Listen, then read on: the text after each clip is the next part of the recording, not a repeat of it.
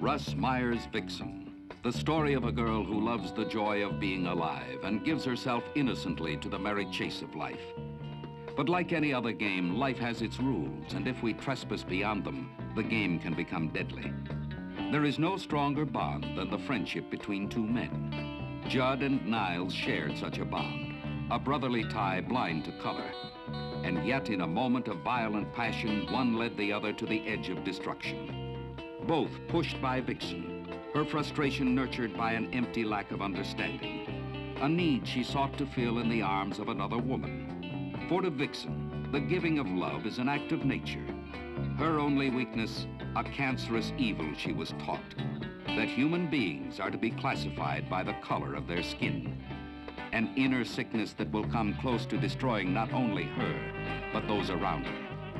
It will bring them to a moment of truth in an empty sky, with the black man a fulcrum in the deadly teeterboard of life.